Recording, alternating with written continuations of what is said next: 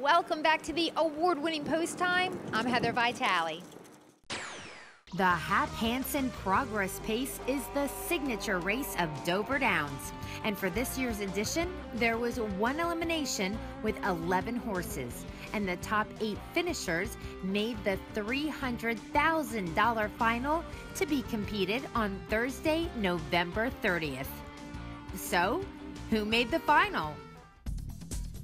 Well, first, before we show you the action, uh, let's check out the post positions horses, and drivers for that field of 11 going to post in the $35,000 elim.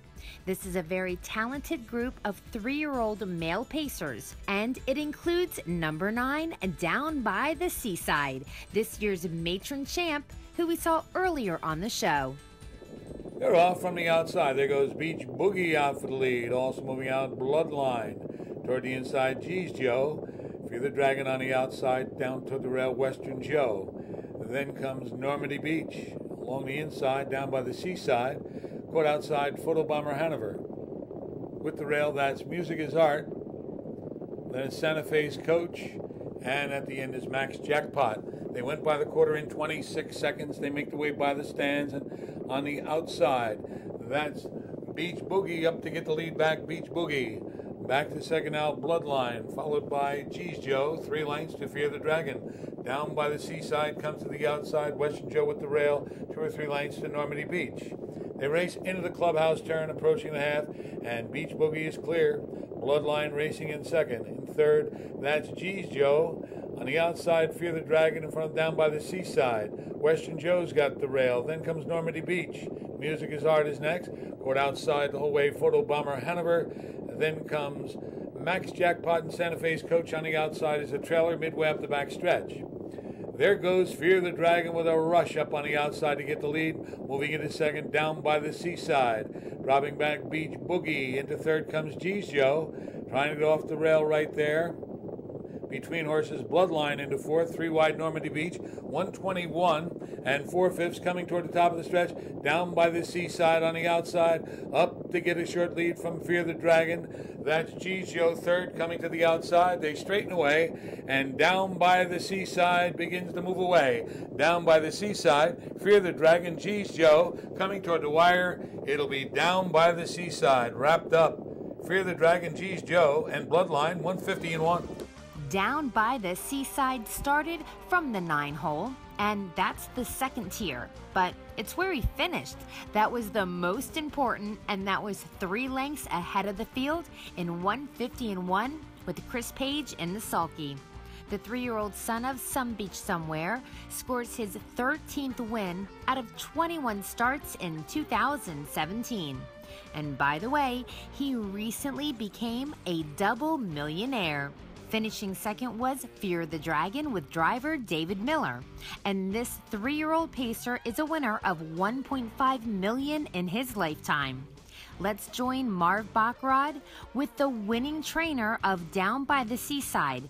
And it's also the same guy who happens to condition the second place finisher, Fear the Dragon, as well. Congratulations, Brian Brown. You had uh, two outstanding horses in here and the winner last week of the matron has come back and was even more impressive. He, he was really good. I was a little worried getting out of there, but uh, they all settled. Uh, he had to come a little early. They were going awful fast to the half. Cold and windy tonight. That was a pretty good mile, but you know this time of year, speed doesn't mean anything. It's the money that only only makes the difference. Uh, Seaside was great.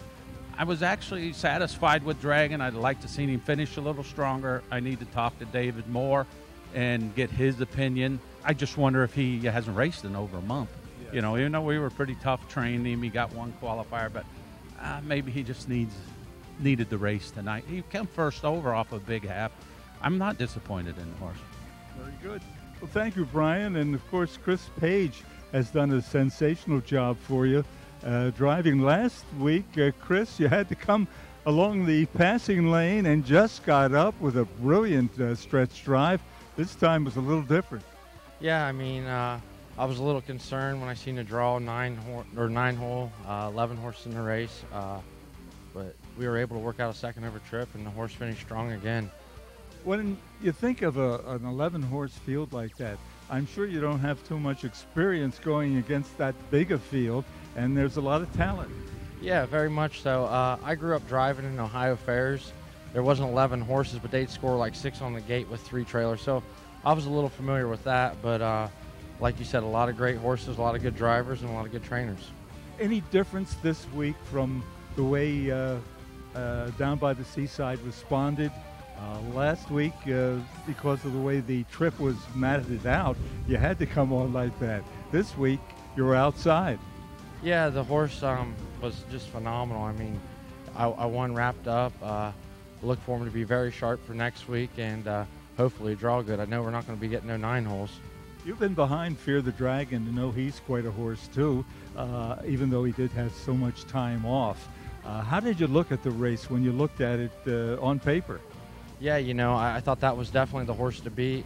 I qualified him his last start at Dayton, uh, and I'm just very lucky and fortunate to be able to sit behind uh, two three-year-old colts like that. I mean, it's a chance in a lifetime. Um, you know, both of them are very nice horses, and uh, I appreciate the opportunity. Now, of course, you're looking forward uh, to next week going for $300,000. Uh, is this a horse that uh, shows each and every time that he's ready to go? knock on wood. I mean, I've drove him like I think this is my fourth time. He's won every time for me. Qualified him a few times. Uh, you know, he it, he just shows up on game day. He's he's just a he's just a true competitor and uh, you know flawless gaited, um, good attitude, just just a good horse. And uh, insofar as uh, yourself, uh, when you look forward to next week, are you more confident or or what?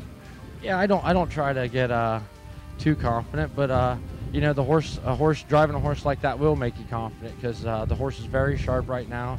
Brian's done a good job conditioning the horse. You know, want to thank the owners for even giving me the opportunity to come out here and drive them. One last word: Brian Brown has a tremendous record with uh, young horses over the past few years. Does he do anything differently, or does he talk to you differently about them? I mean, obviously he's doing something different than everybody else. Uh, I, I, I, honestly don't know. I just know his horses look good. They're rigged up good and they're trained up and they're ready to race when they come to the track. Well, we'll look forward to seeing you next week. A week from tomorrow, Thursday, November 30th, it'll be the $300,000 Hap Hansen Progress Pace Final and four Delaware Standardbred Breeders' Fund Finals. So it'll be a giant day in Delaware harness racing history.